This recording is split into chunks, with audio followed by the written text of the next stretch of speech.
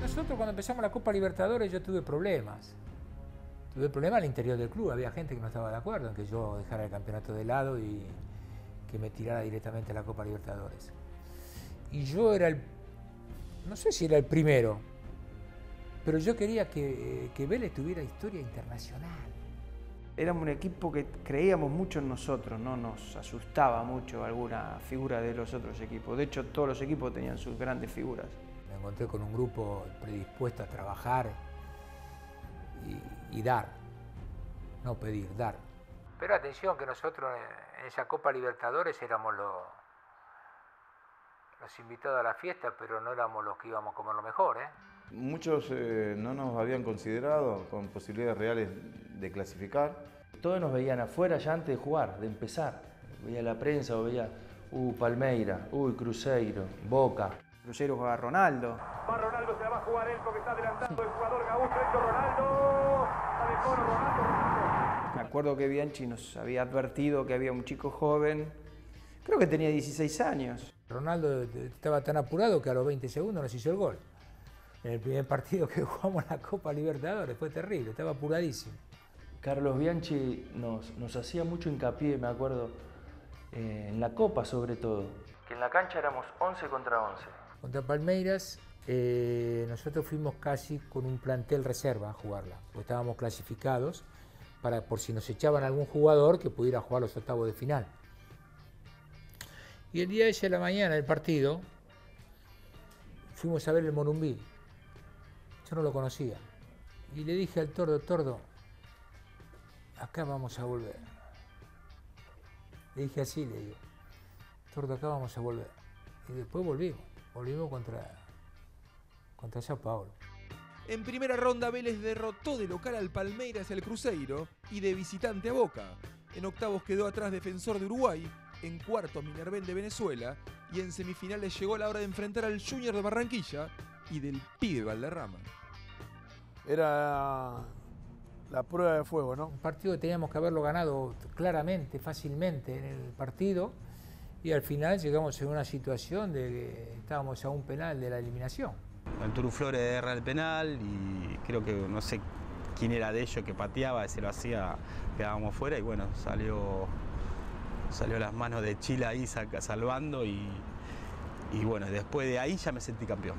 Chilaver eh, para nosotros fue el, el Maradona de- de- del arco. Hice algunas cosas que por ahí para el mundo del fútbol no está acostumbrado, hablar al que va a ejecutar, le tocaba el balón, le decía que me tirase a la derecha. José le metía miedo a todo, era una cosa extraordinaria. Entonces, con ese miedo que él le metía, eh, terminábamos clasificándonos, ¿no? Y al final de cuentas nos terminamos enfrentando al que había sido bicampeón de la Libertadores y bicampeón intercontinental, que creo que debe ser el único club que lo, el último club que lo logró eso. Ellos tenían armado la fiesta ya para, para ser tricampeón. Ves acá vos los campeonatos y eso, ellos tenían eh, campeón Libertadores 93, 92, 93, 94 en otro color, pero 94 ya la tenían pintada. A nosotros nos tocó, a nosotros nos tocó, porque, porque eso es bueno, eso, eso es bueno para cuando uno se siente eh, lo que quieren hacer sentir en la piel del perdedor. ¿Es verdad lo de los afiches que pegó en el vestuario? Sí, sí, eso sí, se lo di al utilero antes y lo empapelaron el, el vestuario porque yo creo que era bueno tocar, eh, que, que- que a último momento un toque de, al orgullo.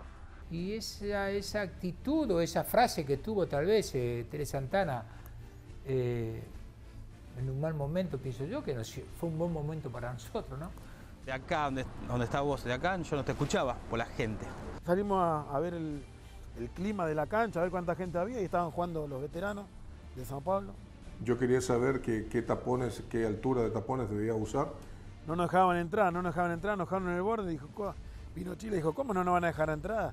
Yo voy a entrar, yo tengo que jugar en una hora, tengo que jugar. Chilaver entró, ¿no? Eh, no, no fue por fuera, sino que entró y empezó a caminar por el medio del área a revisar eh, el piso, ¿no? Y estaba el arquero y, y me dice, ve afuera, afuera, afuera, afuera, me dice. Entonces yo le digo, ¿qué fuera? Le digo, vos sos el peor golero que tuvo la historia de Brasil. Era Waldir Pérez, el arquero de- del Mundial de España 82 de Brasil.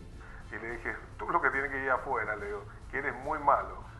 Me terminé expulsando porque consideré que no que el árbitro había había expulsado sin razón a Cardoso. Y que vos sos el único uruguayo que no tiene huevo.